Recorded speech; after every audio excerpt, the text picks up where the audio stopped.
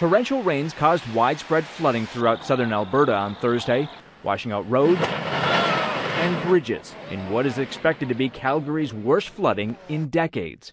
Many residents had to be rescued from their cars and homes, as the city of more than a million is currently under a state of emergency.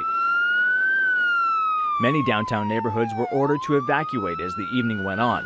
Officials said the evacuation would take place in stages over the next few days. It's estimated that as many as 100,000 people could be forced from their homes due to heavy flooding in Western Canada. Water levels were expected I've to reach their maximum around noon on like Friday.